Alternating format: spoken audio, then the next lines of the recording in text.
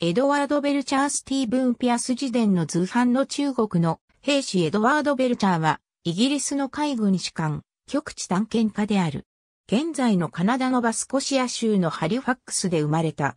祖祖父のジョナサン・ベルチャーは、ニュージャージー植民地総督を務めた人物である。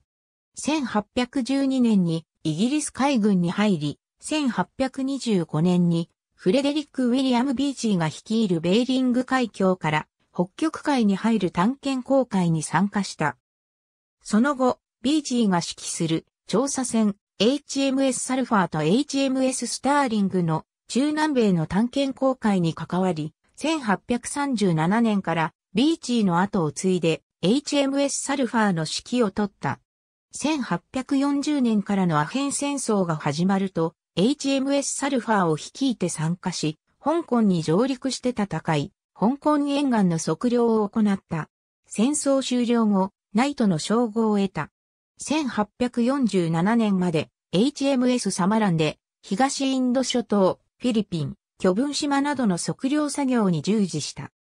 1848年に有名な極地体験家のジョン・フランクリンが行方不明になると、イギリス海軍は大規模な捜索隊を組織し、1852年にベルチャーは5隻の船からなる救援艦隊の指揮官に任じられた。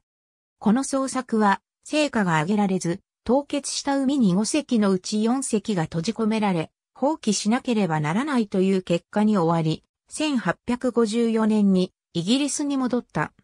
その後その責任を問われ、軍事法廷に召喚されたが、無罪の判決を受けた。1855年にザ・ラスト・アークティック・ボイジズを執筆し、自己弁護した。